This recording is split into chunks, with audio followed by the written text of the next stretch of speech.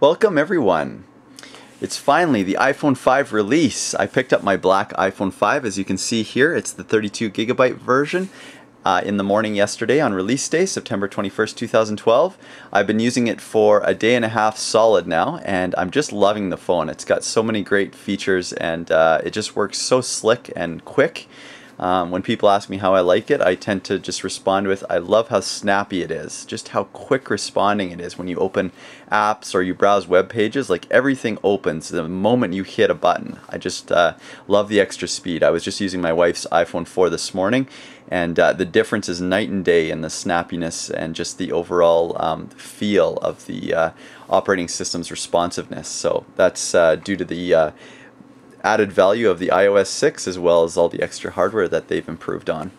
So here I just wanted to do a boot up. By the way, if for those of you looking for a first time boot up video of the iPhone 5, um, the official iPhone 5, not a prototype or mock up or anything like that, just look above and I've got in my videos there um, a video of the first time uh, booting this device up from start to finish showing you the time so you can check it out there. Really fast boot up. I'm very impressed. It's a huge improvement over the 4 and the 4S.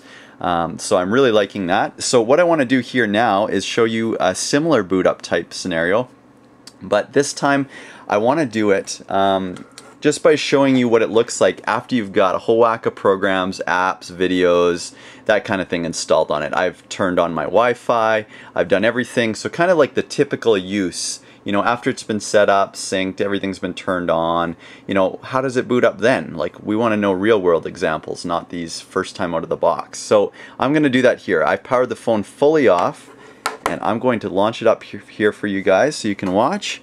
So I'll actually tip it up so you can see me.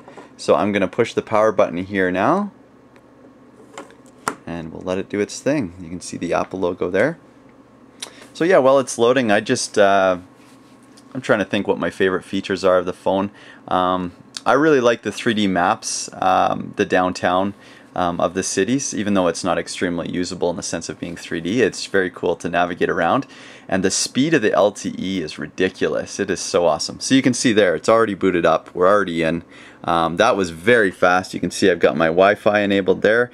It's just searching for my network connection or sorry for uh, for my mobility connection there and so if we just go in here turn it on you can see I've got my uh, stuff there I've customized a lot of things uh, pretty much just set this phone up like everybody else and uh, downloaded a whole whack of apps. I'm gonna download some more but I've probably downloaded uh, 30 to 40 already. And uh, yeah I'm just liking this phone all around. This is the black 32 gigabyte version. And so there you have it.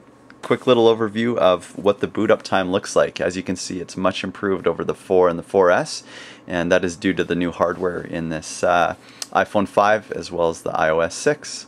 Thanks for watching. Please check out my other iPhone 5 videos above. And if you want to check out some other interesting things, I've got giant scale remote control airplanes and other hobbies that I'm into. So please check those out. Please rate it and comment if you like. Thanks for watching. Bye.